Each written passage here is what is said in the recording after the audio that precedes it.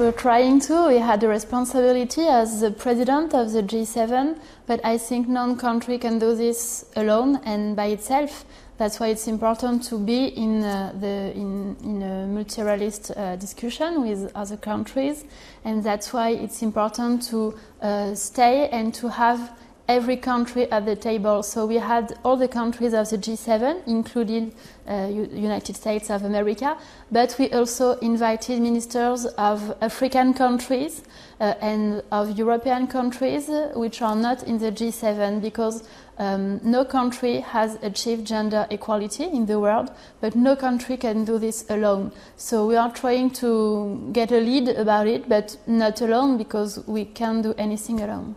Do you think that's also one of the reasons why France has been one of the strong voices uh, about regulating technology? Because it's not just about making it fair from a taxation perspective, but also making sure that technology takes into consideration fundamental human rights and obviously gender rights as well. Yes, it's a very important point for France. You know, the President Emmanuel Macron uh, launched a call with the Christchurch call in Paris last week, and he had many um, personalities who were there. We had John Kerry for the US, we had Jack Ma for China, uh, we had Theresa May for the United Kingdom, uh, we had the Prime Minister of New Zealand, obviously, and so all these countries and all these platforms put that commitment in order to fight uh, the violent content um, online. And it's important with the G7 equality, we made a statement and we urged the platforms uh, to put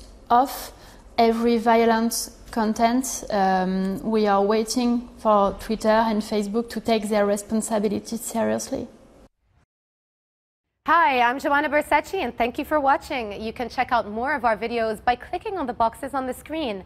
And don't forget to subscribe to our channel for more from CNBC International. Thank you for watching.